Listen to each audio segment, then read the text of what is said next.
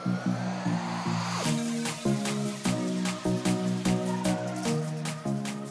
everyone, welcome to Tour Validated. My name is DJ Lantz, joined by Kris McCormack and Jeff Thomas, and today we are in the Ping Putting Lab. Very exciting. Looking around this place, I'm already so pumped to get into it. So, Kris, what are your thoughts? So obviously this environment, uh, first of all, thanks for having us over. Absolutely. Yeah. Yeah. This is an absolutely amazing opportunity and really anxious to get into, I mean, what Ping was founded on. Yep. I mean, all about the putter. So, I mean, if we're going to go any place for a putter fitting, where better to go than, I mean, essentially where it all started. Absolutely. So diving into this, going through uh, essentially a full putter fitting, just like any of the Ping staffers or tour players would go through. Jeff, if you want to kind of give us a rundown as to what we're going to be doing today and some of the data we're going to be looking at. Absolutely, yeah. So this is our, our putting lab. This is where we do all of our putter fittings for our VIP guests that come to the proving grounds, any of our tour players that come. Uh, this is where we do all of our testing for new product lines with the, the putting pendulum. Uh, but a little bit about the table. So the table is six and a half feet wide. It's 45 feet, 10 inches long. Sits on its own foundation from the building, so it's uh, perfectly level to a one one thousandth of an inch. Uh, the table itself is it's 70 tons. So when uh, a player comes in for a putter fitting, what we can do is we can get a lot of technical stuff in here. So we'll, uh, we have a lot of cameras that we can hook you up. So we can look at face on, we can look at ground level for lie angle, we can look at down the line. Um, and then we'll hook you up to iPing, which is our proprietary putting app, which will look at a lot of uh, club data. Uh, so you, how much rotation you have, how you're aiming it, your lie, your, your, your loft, um, so all that kind of stuff. And then we also have an outdoor putting green. So once we get all the technical data in here, then we can go out to the putting green and do some like game-like fitting stuff out there as well. So you can really get dialed in here at you know Ping Proving Grounds. It looks like it. There's a lot of fun toys in here. We've got a great wall of history here, not only talking about Mr. Karsten, but uh, some of the putter designs he's come up with over the years and how we ended up where we are now. So without further ado, I think it's time to get into it. But before we do, make sure to like and subscribe to the channel. And now I think it's Kris's turn. Like Kris is gonna lead us off. So if these guys are just blown away by what they're seeing out here, got to come see you. Yeah, absolutely. Yeah. So sign up online. Yep. Come check this place out, and I guarantee you, I mean, visually, you're not going to be disappointed, and I'm really excited to dive into this experience. All right, so uh, since you don't have your gamer, we're just gonna start with an Anser style putter. So that has a middle line toe hang, so about 40 degrees, which is a good starting point just to look at your metrics.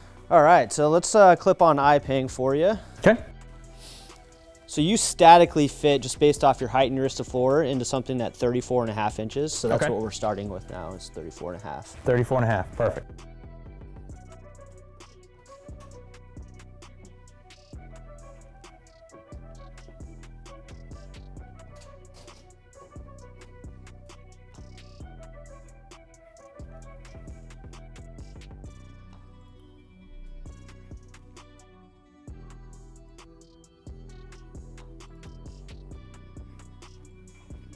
How's that length feel? Length feels good. Okay. I mean, just as far as where my eye line falls in relationship to ball, it feels comfortable. So it is just a little bit longer than what you've played in the past. So I've typically been right at 34, so adding that extra half inch. And last time I was fit for a putter, that was before I had some back issues. Okay. And so, I mean, being able to stand a little taller, Yeah. take some pressure off that lower back, I'm not going to complain about okay, that. perfect. Very good. So we'll take a look at your iPing numbers up here on the screen. Okay. So after your five putts, uh, now we have all your stroke metrics here on iPing. So iPing is just all based off consistency. So Sure. um, everything in green would be consistent on your stroke, yellow would be moderate, red would be inconsistent. So Okay. uh, the first number that we would look at would be this uh, putting handicap. So this plus 0.2. That's your overall consistency score, which is on the same scale as like an actual handicap. So a little bit better than scratch, which is very good. I so mean, I'll, I'll take it. yeah. so uh, each one of these categories or metrics that we're looking at has their own consistency score, and then the numbers in the white are going to be your stroke metrics. So the first category that we would look at would be your closing angle. So what that Okay. 2.9 degrees is measuring, that's just measuring your face rotation from the start of the downswing back to impact. So we fit for three categories of putters. So putters that are straight, slight, and strong arc. So straight arc putters would be a little bit more face balance. Okay. Uh, slight arc would have a little bit of toe hang, like an Anser style, which is going to hang about 40 degrees. And then strong arc putters are going to have a lot of toe hang. So we're going to really want to try to match up a putter to that player's natural tendency of the kind of the forces and torques they're applying to the putter. So for you, 2.9, uh, we kind of fit more into a face balance model. So something about zero to about three and a half degrees of rotation. Uh, okay. We'll look at something a little bit more face balance. So you noticed that you said that you have maybe a missed tendency a little bit more off to the right. Um, so anytime that you have a putter with a little bit more toe hang, it's always going to be delivered just a little bit more open than something more face balanced. So sure. a face balanced model is just going to be a little bit easier for you to square up. So definitely look at some face balanced models for you, just with your rotation and your miss tendency. And that's been, I mean, just historically, that's been the model that I have had the most success with on the putting green is something that's a little bit more face balanced. Okay, yeah, perfect. So, and it really matches up well with your, your rotation. So um, the next thing would be your impact angle. So this negative 0.4, that's just a relative measurement from where you are at setup compared to where you are at impact with the face. So it's just really how you're aiming it. Now this number doesn't need to be right at zero. You know, we've noticed all the, you know, our best players that come in, our tour staff, LPGA tour staff that come in, uh, that number doesn't need to be at zero. We're, we're, just really trying to focus on consistency. So what we've noticed sure. is that they're very repeatable. So they could be a little bit open or a little bit closed relative to their starting point uh, but they're consistent, and that's what we're trying to focus on. So what negative 0.4 means for you is that you're just slightly closed relative to your starting point, so maybe just a little bit of a right aimer, and then you come in a little bit closed, but 0.4 is pretty minimal, so put you kind of more into the square from setup. Okay.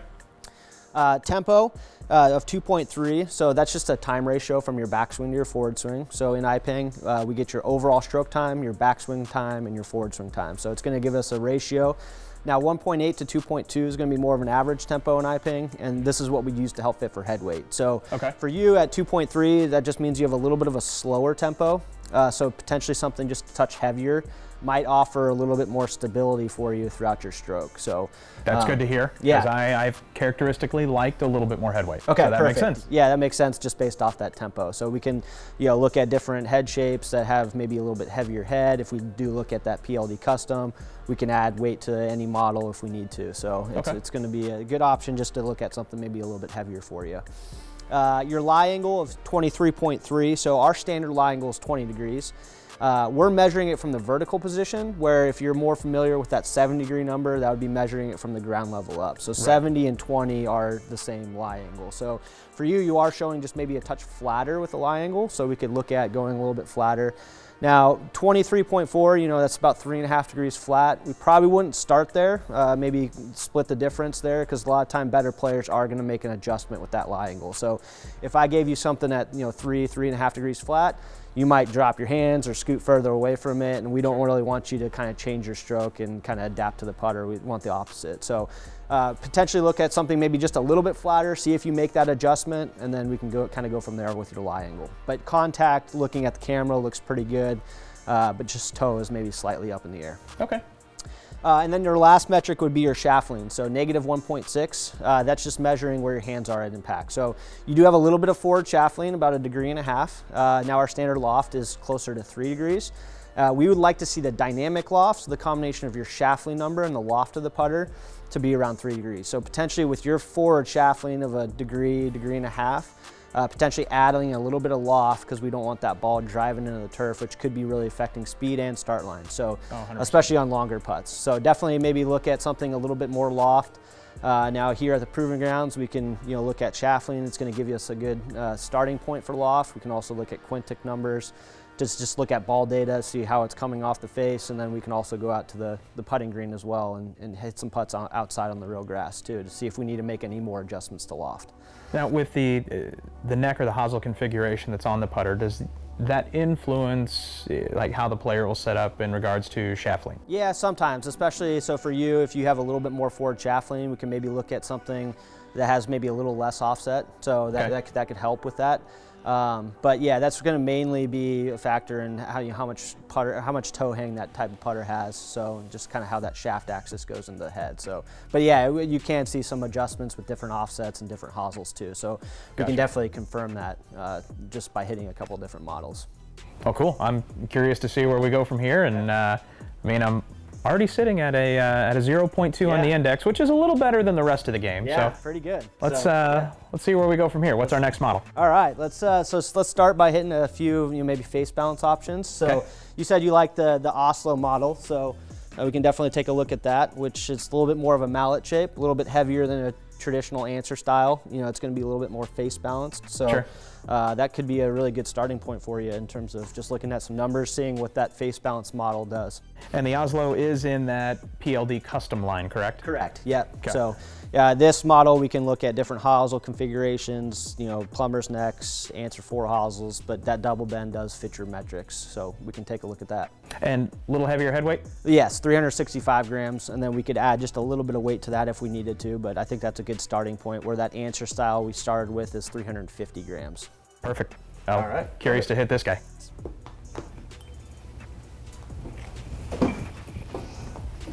Now in the past, I have had an Oslo design as far as what was a previous gamer. Yep. And when it came in, I saw this guy sitting on the shelf and just immediately gravitated to it like it was an old friend. Yeah, absolutely. Yeah, so that's based off of the older uh, Oslo. Um, it's just a little bit smaller, but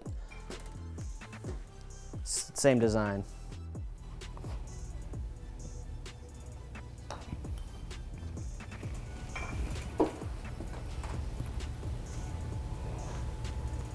Now is the, the face actually firmer on this head than it was on that Anser we originally tested? It's actually the same milling depth. So uh, it's 10 thousandths on the, the depth of the mill. So the Anser model that you tried has that same depth.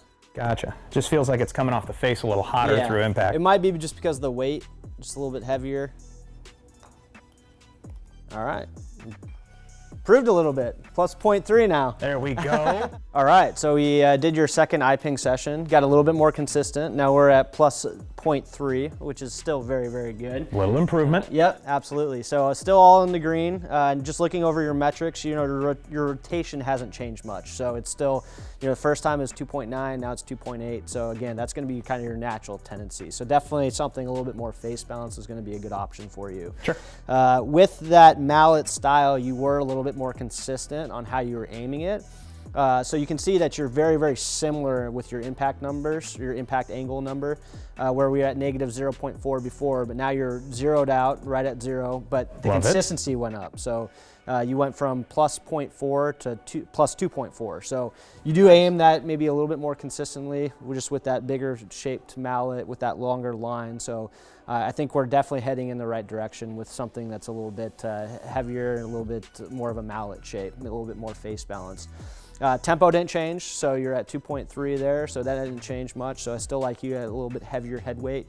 Uh, lie angle shaft lean changed a little bit. The shaft lean could be because there's a little bit of sole relief on that, so it kind of forced your hands back a little bit. Gotcha. So we'll do uh, another iPing session just to confirm that we're in the correct amount of loft. But uh, yeah, numbers look really, really good there in that one session. So we can take a look at one another model and uh, go from there. Yeah, let's see what we got. Perfect. All right, so um, I think maybe this uh, DS72 might be a good option for you. So uh, the, the putter that Viktor Hovland is using, or we can also look at uh, something like this, where it's a little bit different shape. That's our Prime Tyne, uh, which we can do in a few different hosels. But like I said, you know, something a little bit more face balance is going to be a good option. So, have you ever used anything? This particular model has a line on the top rail.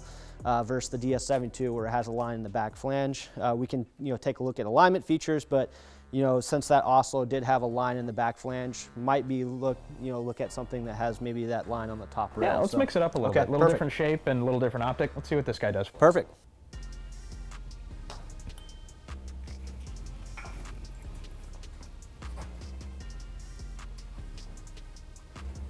As far as the shape goes, I do like how this Tyne kind of frames the ball. Okay.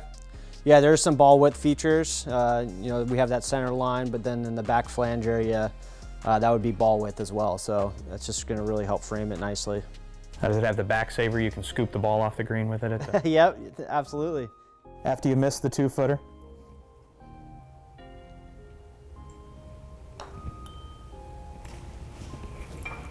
It's good there, right in the center.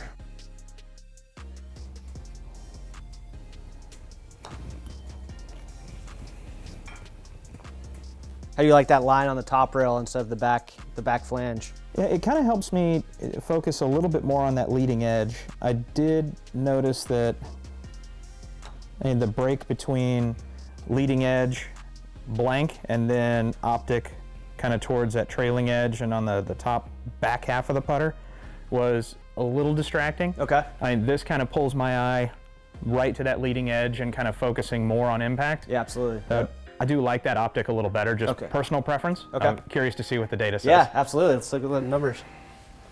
All right, so we have our metrics for our third putter.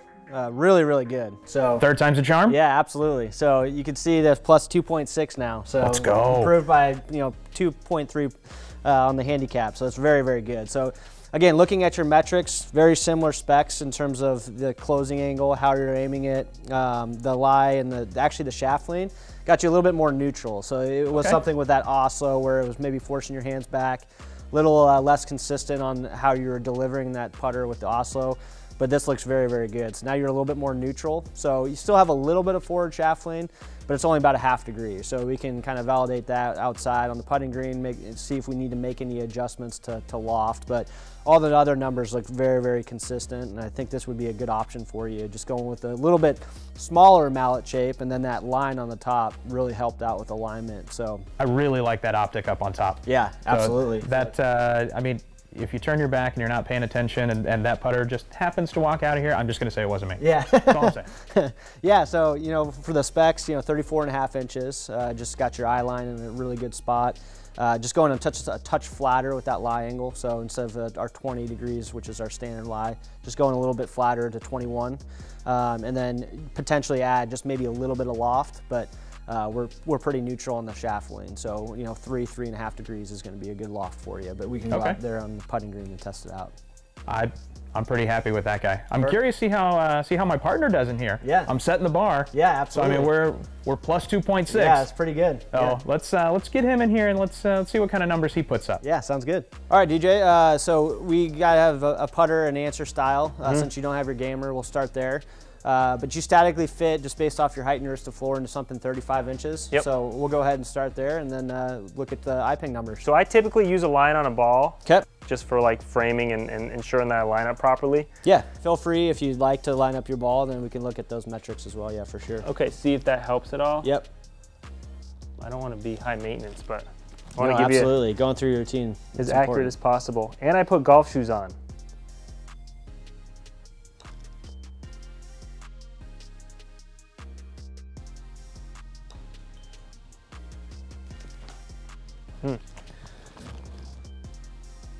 Blades always feel so good to me.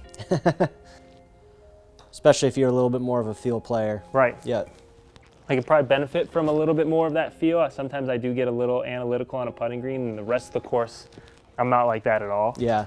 Putting green is definitely the time where I overthink a little bit sometimes. Yeah, so maybe even just kind of talking through, just maybe looking at just a dot or something just to help you get kind of get centered. Grip feels nice. I know these, these grips are always some of my favorites. All right, very good. Down. Let's take a look. All right, so plus four on your consistency score. Very, very good. So just looking uh, down the line with your, your stroke metrics, your closing angle. So not a lot of face rotation, so 2.2 degrees.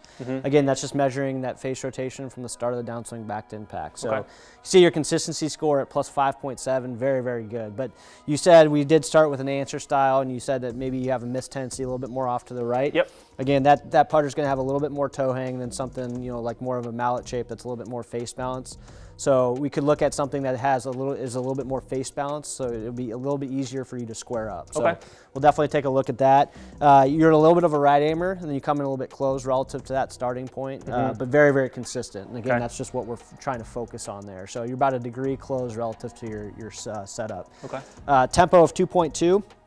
Uh, just slightly on the slower side of average, Mm-hmm. so potentially maybe look at something just a touch heavier, just to offer a little bit more stability on those shorter putts that you maybe said you tend to kind of struggle with. Right. So uh, that just might give you a little, you know, a little extra stability. Lie angle of 20 degrees looks really good. So that static starting length at 35 inches, we got your eye line right over it. Uh, very good on that lie angle, really centered contact. So um, I like you at 35, and then we'll, we'll stick with uh, 20 degrees on the lie angle. If, uh, and then uh, your shaft lean number of plus one. So uh, you just have your hands just slightly back at impact. So you're just adding just a touch of loft. So potentially just taking a little bit of loft off to get closer to that dynamic loft of three degrees that Yep. we're looking for. So uh, we have a model here that's a little bit more face balanced that we could try. You like the look of it. So Yep. let's look at some numbers. Okay, I'm gonna stick with what I did the first time I've got line on the ball. Here we go. That felt pretty solid. So I will say, there was a, a freedom to having that putter that we looked at previously with no alignment aids. Yep. I didn't find myself fidgeting as much as I see with something like this. Don't know if it's a good or a bad thing, but it just felt so, so free.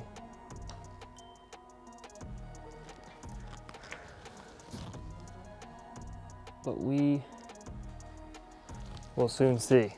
I'm very high maintenance doing this with the line every time. Like if, if you had to do putter fittings, I think with me every day, you wouldn't be able to be as efficient as you typically are. That's important to go through your routine.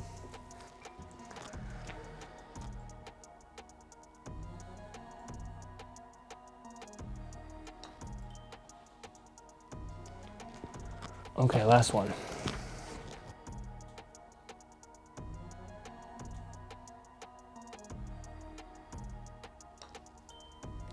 Well, got better. We got better. wow. All right. Well, we got a little bit more consistent, so that's that's pretty good that you've improved on a plus four. So now we're at plus 4.3. So Okay. the biggest differences that we've seen, the metrics are all very very similar.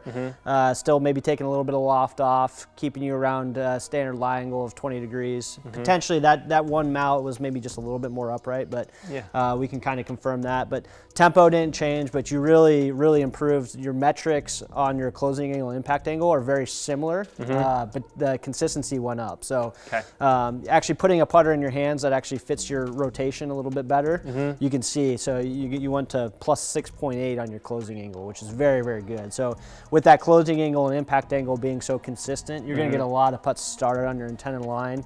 And going something a little bit more face balance is just going to help with that right miss a little bit better. So how did that feel? How did that alignment feature look on the top rail? Um, now I think we could potentially look at maybe something because you're consistent, very consistent with a blade shape, Yeah. as with a mallet, but maybe look at a, a blade shape that's a little bit more face balanced, Right. And see what the numbers look like, um, and then we could always come back to that because that that num- those numbers look really good. Yeah, this felt really good. I love the, the optics here with just the single line. I don't feel like I get too line locked, but it does help me with the line I put on the ball.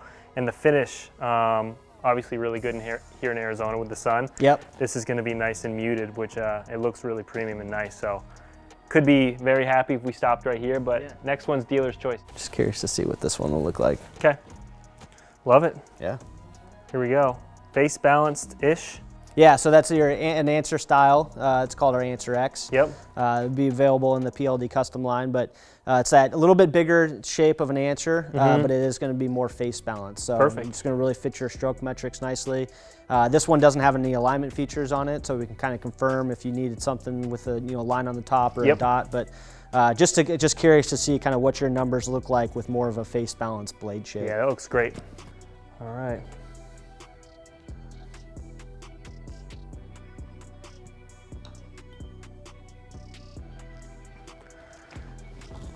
Solid, good feedback.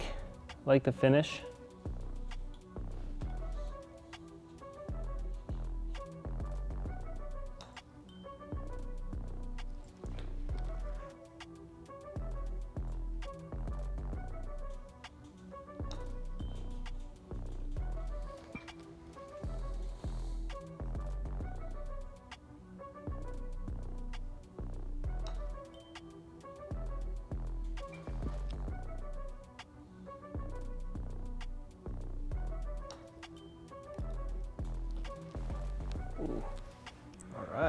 Still good. Still but good.